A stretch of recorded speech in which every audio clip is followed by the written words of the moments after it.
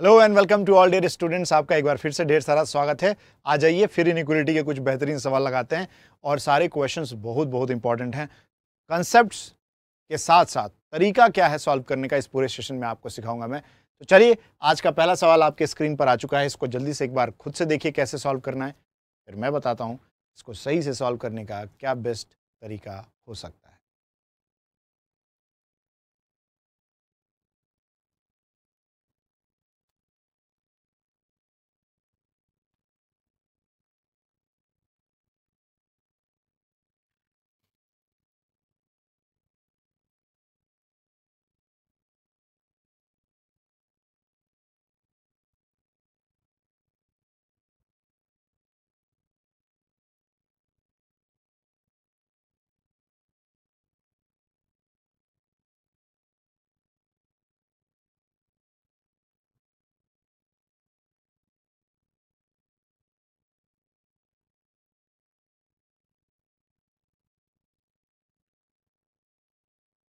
चलिए देखिए, किस तरीके से आपका जो भी आंसर आया है, बिल्कुल सही आंसर है, बेहतर है। लेकिन इसका और क्या तरीका हो सकता है? जल्दी कैसे आंसर आ सकता है, वो भी देखते हैं। अगर बात करें हम के से एल की, पहले कंक्लूजन देखना मस्ट है। स्टेटमेंट में बाद में जाइएगा। कंक्लूजन पहले देखिए क्या है। के सेल की बात कर रहा है। भाई के सेल जाने के लिए हमारे पास क्या रास्ता है? तो इसमें और इसमें कॉमन एलिमेंट मुझे जो दिख रहा है, वो बी दिख रहा है। तो के जो होगा, वो लेस देन बी होगा। देखिए क्योंकि यहाँ हमारे पास या फिर ऐसे कह लिए इधर से चलें तो ग्रेटर देन और ग्रेटर दो दो रिलेशन हैं। उसमें प्रायोरिटी हाई ग्रेटर की होती है। तो बी ग्रेटर देन के हो गया। और यहाँ से अगर हम चलें बी से एल तो बी क्या है भाई? लेस देन एल है। अगर आप दोनों को देखें तो आपको क्या मिलेगा? एल इज़ ग्रेटर देन के तो यही चीज़ तो यहाँ पर लिखी गई है। एल इज़ ग्रेटर देन के तो ट्रू हो गया। वही एच से के अगर आप जा रहे हो तो फिर वही एच से बी जाओगे आप। तो एच से बी में आपको मिलेगा ग्रेटर देन और इक्वल्स टू बी और बी से के में आपको ग्रेटर देन के मिल जाएगा, यानी एच इज़ ग्रेटर देन के होगा। और यहाँ तो ग्रेटर देन और इक्वल है, इसलिए एक रिलेशन तो है, लेकिन एक नहीं है, इसलिए लॉजिकली फॉल्स आंसर यानी ओनली वन फॉलोज आपका क्या हो जाएगा? सही जाओ। ये है फास्ट तरीका। इमीडिएट आंसर्स अगला सवाल आपके स्क्रीन पर, जल्दी से इसका जवाब दीजिए।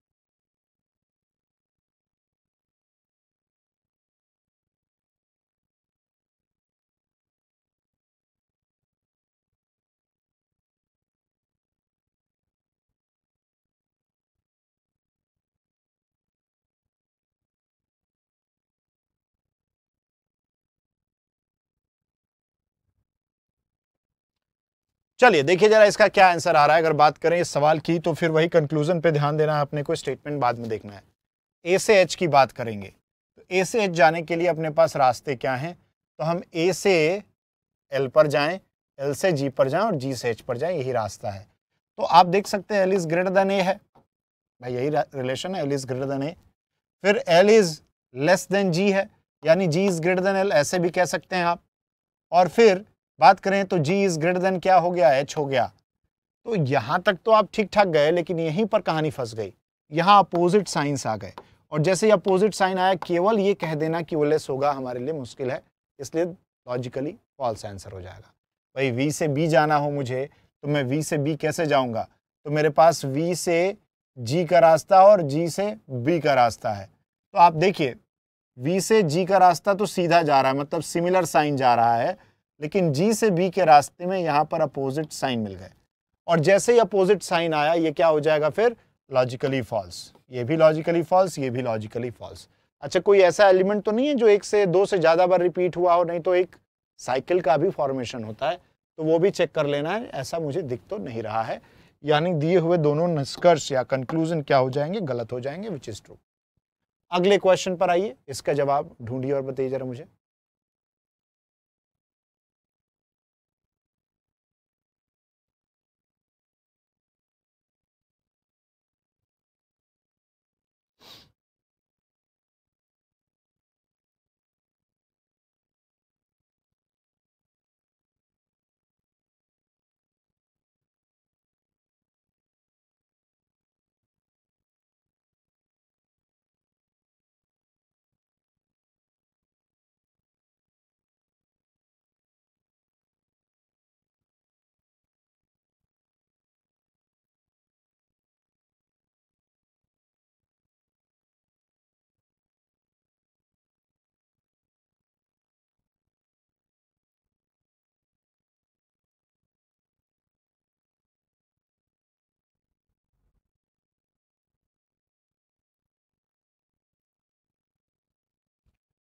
चलिए देखते हैं, फिर कंक्लूजन की तरफ़ फोकस रहिएगा। बस आंसर आता चला जाएगा। अगर बात करें डी से एन की तो डी से एन जाने के लिए रास्ते क्या है अपने पास? एन यहाँ पर है ना? तो मेरे पास जो कॉमन एलिमेंट दिख रहा है, वो है टी तो यहाँ अगर मैं देखूँ तो डी से टी के बीच में ही अपोजिट साइन है। भाई, उसके बाद ना आप टी से एन जाओगे। तो यहीं अपोजिट साइन होने का मतलब है कि लॉजिकली फॉल्स यहीं लिख देते हैं फिर।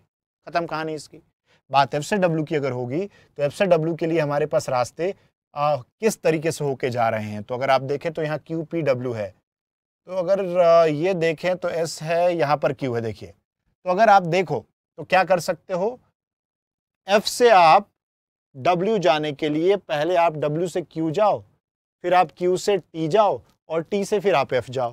तो क्यू से डब्ल्यू जाने का मतलब है Q is greater than W और फिर क्यू इज़ वॉट यहीं पर अगर आप देखें तो Q is less than T है तो अभी तो सेम साइन चल रहा है। और फिर मुझे टी से कहाँ जाना है? एफ़ पे जाना है। तो टी से एफ़ के लिए जो रास्ता बना है, वो बना है कुछ इस तरीके से। अगर आप देखें तो सिमिलर साइंस मिल गए चारों तरफ़ से। तो मतलब यह है कि F hundred percent greater than W होगा विदाउट एनी डाउट कैसे है? सिर्फ़ कनेक्शंस ढूंढना है। कॉमन जोड़ना मत वहाँ बैठ के, उतना टाइम नहीं है अपने पास। Common elements relations answer finish यानी आंसर क्या हो जाएगा? Only two follows which is true अगले क्वेश्चन पर आते हैं। जरा इसका जवाब ढूंढकर हमें जल्दी से आप सब बताएँ।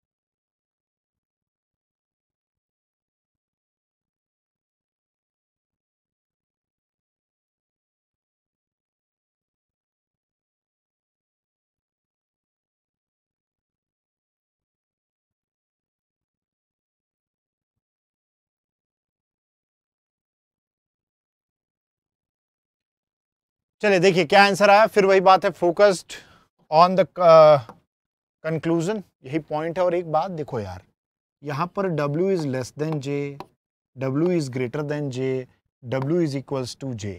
यानी W और J के बीच में दोनों कंक्लूजन को मिलाकर तीनों रिलेशंस गिवन है। यानी अगर W J के बीच में कन्फ्लिक्ट हुआ तो ये तीनों रिलेशंस पॉसिबल होंगे और ये आइदर और आंसर होगा। अब W और J के बीच का कन्फ्लिक्ट बस ढूंढ लेना अपने को। तो अगर यहाँ देखूँ मैं तो ये पूरा W से G का रिलेशन मिल रहा है that is W is less than G. फिर मुझे G से कॉमन एलिमेंट इसमें क्या मिल रहा है? एफ़ डी और एन और डब्ल्यू इतने सारे एन जे मतलब ये तीन एलिमेंट है जे के अलावा। तो अगर मैं देखूँ जी से तो एफ़ का रिलेशन कॉमन है ना? यहाँ भी एफ़ है और यहाँ भी एफ़ है। तो यहाँ पर मैं चलता हूँ, पहले इसको मिटा दूँ, वरना आप लोगों को क्लियरिटी नहीं रहेगी। ये हटा देता हूँ मैं। मैं बस कॉमन एलिमेंट ढूंढ रहा था। एफ़ मिल गया है अपने को तो क्या करेंगे अब मैं जी से एफ़ तक जाऊँगा तो G is less than F तो है, लेकिन F is greater than J है, देखिए। और मैं क्या कह रहा था कि अगर डब्ल्यू से जे के बीच में कहीं भी अपोजिट साइन अगर मिल गया तो क्या हो जाएगा? कन्फ्लिक्ट और कन्फ्लिक्ट के केस में मैंने पहले वाले पार्ट में बताया था कि तीनों रिलेशन पॉसिबल होते हैं। यानी डब्ल्यू से जे के बीच में तीनों रिलेशन पॉसिबल होंगे तो आंसर क्या होगा फिर? आइदर और will be the right choice either और इसका सही जवाब हो जाएगा और आंसर होगा ऑप्शन सी क्लियर हुआ? अगले क्वेश्चन पर आइए, जरा इसका जवाब ढूंढिए और बताइए आप।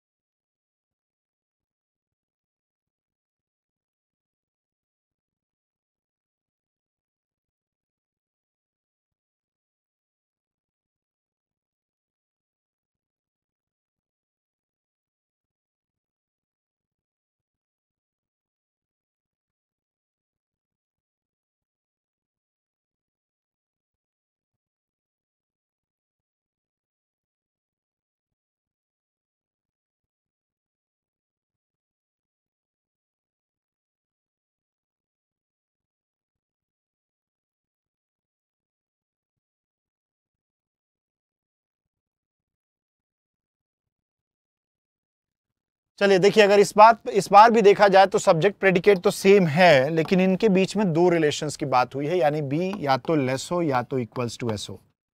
अगर ये सेटिस्फाई कर गया तो ये इधर और होगा, नहीं तो नहीं होगा।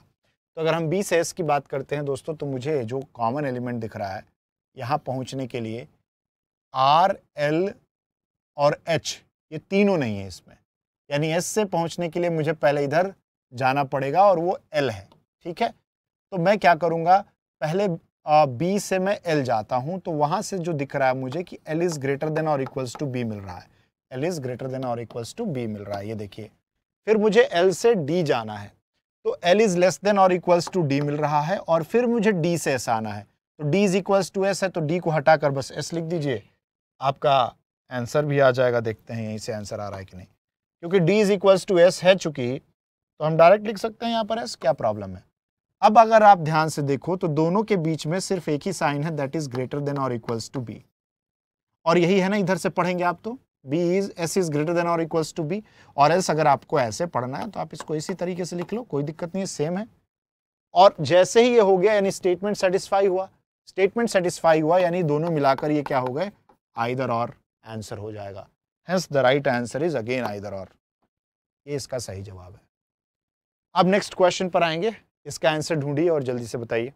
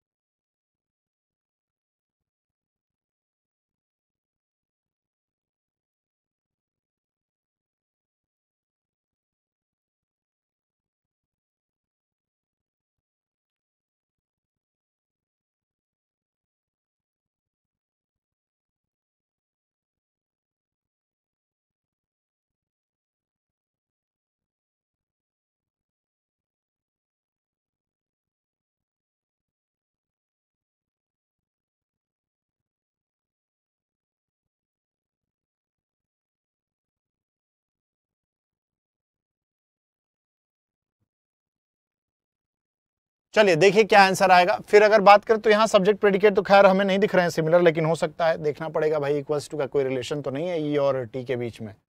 वो मुझे नहीं दिख रहा है, यानी आइदर और तो नहीं होगा। अब देखते हैं कौन सा फॉलो करता है। ई e से अगर हम सी की बात करें तो मुझे ई e से सी जाने का क्या रास्ता है? तो मैं ई से या तो फिर देखूँ एस जाऊँ एस से इधर देखा जाए आर जाया जाए और आर से फिर सी आया जाए। तो फिर ठीक है, चलते हैं। एस इज़ ग्रेटर देन और इक्वल्स टू ई है। ये है ना? S is greater than E फिर एस की बात करें आर से तो आर ग्रेटर है एस से। और फिर आर से हम सी की बात करें तो यहाँ देखिए आर जो होगा, वो क्या हो जाएगा? दैट इज़ लेस देन और इक्वल्स टू सी ठीक? लेकिन प्रॉब्लम यह है कि वो बोल रहा है लेस देन और इक्वल्स टू यहाँ मैं जो देख पा रहा हूँ सी इज़ ग्रेटर देन और इक्वल्स टू ई है। Sorry greater than equal equal नहीं है ग्रेटर देन ई है। पर यहाँ ग्रेटर देन और इक्वल्स टू है। दो रिलेशन तो नहीं है, एक ही है, इसलिए लॉजिकली फॉल्स हो जाएगा। टी से अगर हम डी की बात करते हैं तो टी से डी जाने का क्या रास्ता है भाई? यहीं पर आना है ना अपने को तो वही फिर रास्ता है कि आप सीधे सीधे इस टी को एस से रिप्लेस कर दीजिए। यानी यहाँ से एस हटा दीजिए T is greater than D देखिए, है क्या? है बस ट्रू हो जाएगा, हो गया। यानी ओनली टू फॉलोज इसका क्या हो गया फिर? सही आंसर होगा और ये सही जवाब भी है। आइए नेक्स्ट क्वेश्चन पर, इसका आंसर ढूंढते हैं और जानते हैं क्या सही आ रहा है आंसर इसका।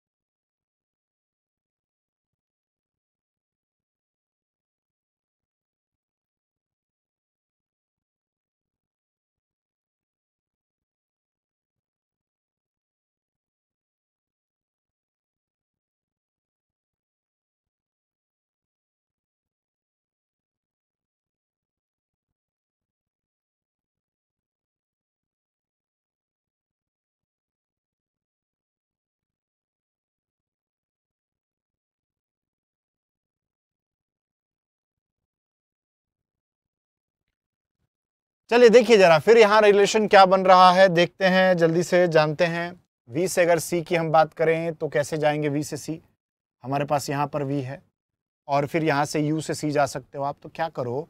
U is equals to V है ना तो इस u की जगह आप v रख दो। तो आप देखो, c is greater than v direct आ रहा है।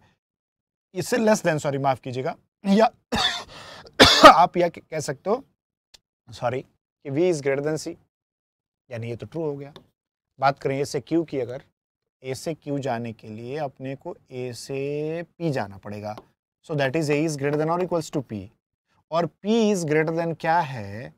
तो यहाँ तो ठीक है पी ग्रेटर लेकिन यहाँ पर आप देखिए तो लेसर भी आ रहा है, यानी अपोजिट साइंस आ जा रहे हैं। तो इन दोनों के बीच में आ गया कन्फ्लिक्ट कन्फ्लिक्ट होने का मतलब है कि सिर्फ़ एक रिलेशन तो नहीं होगा। तीनों संभव हैं। तो आंसर क्या हो जाएगा? फिर only one follows will be the right choice ठीक है? अगले क्वेश्चन पर आइए जरा इसका आंसर ढूंढ कर बताइए मुझे जल्दी से।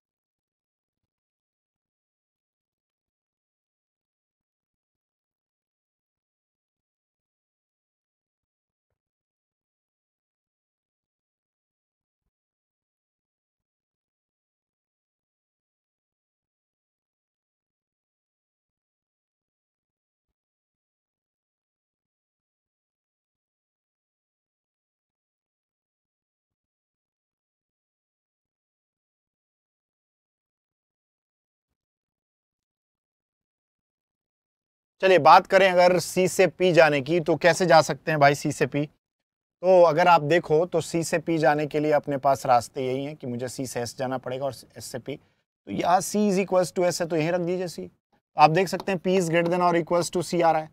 और यहाँ वही है, यानी ये ट्रू हो जाएगा। पहला वाला तो सही हो गया भाई। क्यू से आर की अगर आप बात करोगे तो क्यू से आर जाने के लिए क्यू से एस जाओ। So Q S greater than S है। और एस क्या है तो वो भी ग्रेटर देन क्या है? आर है। तो अगर बात करें तो Q is greater than R आएगा और यही यहाँ पर गिवन भी है। यानी दोनों कंक्लूजन क्या हो गए? टू हो गए। बोथ फॉलोज हमारा क्या हो जाएगा? इस प्रश्न का सही जवाब हो जाएगा option number E next question पर आएँगे, इसका जवाब ढूंढिए और बताइए।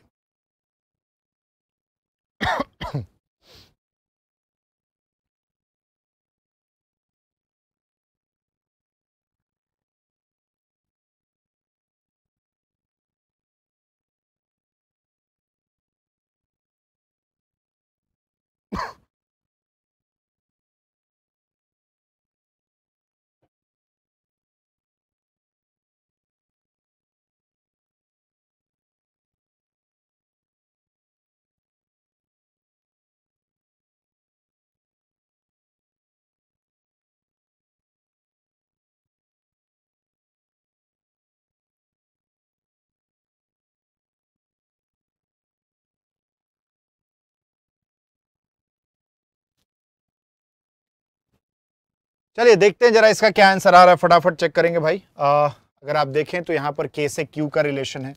तो के से क्यू का रिलेशन कैसे बनेगा? आ, सीधे अगर आप यहाँ देखें तो अपोजिट साइंस दिख रहा है यानी ये लॉजिकली फॉल्स हो जाएगा। फिर अगर डी से टी की हम बात करते हैं तो डी से टी जाने के लिए मुझे रिलेशंस देखने हैं कि क्या मिल जाएँगे। तो डी से मैं एस जाऊँगा। तो D is greater than S मिलेगा और S is greater than or equals to T मिलेगा यानी D is greater than T direct है। भाई कैसे किया तो ये देखो। यहाँ पर अगर आप देखो तो ग्रेटर रिलेशन बना और यहाँ से greater than or equals to बना है, इसलिए D is greater than T true हो जाएगा। तो ये हमारा दूसरा जो कंक्लूजन है, वो फॉलो करेगा। एक और क्वेश्चन इस पर करते हैं, देखते हैं क्या आंसर आ रहा है, जल्दी से बताइएगा आप सब।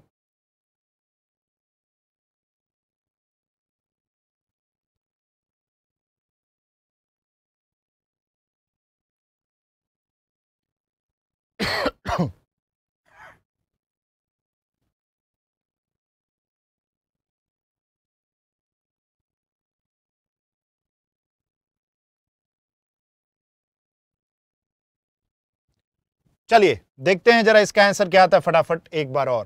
क्योंकि यार देखो तीनों रिलेशंस हैं यू और ई के बीच में तो बस ये देख लेना है कि इनमें कन्फ्लिक्ट है कि नहीं। कन्फ्लिक्ट तो इधर और नहीं तो छोड़ देंगे। तो अगर यू से ई जाना है मेरे को तो मैं कैसे जाऊँ भाई? आ, मेरे पास एस डी और ई है। तो मैं देख पा रहा हूँ कि अगर मैं यू से आर को कनेक्ट करूँ फिर आर को एस से फिर एस से हाँ। तो यू को आर से कनेक्ट किया फिर आर को एस से कनेक्ट किया और एस से फिर हम चले गए कहाँ पर? ई e पर। तो यहाँ देखिए, ये ग्रेटर है और उधर लेस देन आर मतलब यहाँ पर अपोजिट साइन है। बस कहानी खत्म। अपोजिट साइन होने का मतलब कंफ्लिक्ट यानी आइदर और हो जाएगा। क्या आपका? इसका जवाब। तो बड़ा सिंपल आंसर हो गया। Either or will be the true choice ठीक है? ऐसे और भी बहुत सवाल हैं जो मैं आपको आने वाले और सेशंस में लगातार आज कराऊँगा। लेकिन आपको जुड़े रहना होगा मेरे साथ, लेकिन उससे पहले कि मैं जाऊँ, आप सभी को फिर से एक बार बताते हुए चलूँ।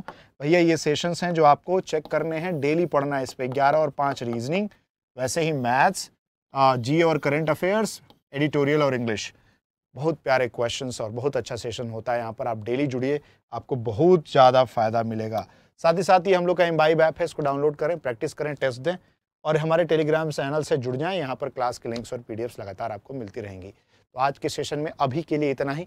फिर आपसे मिलेंगे तब तक के लिए बने रहिए बाइक पर keep in imbibing we believe in you keep in imbibing. We believe in you.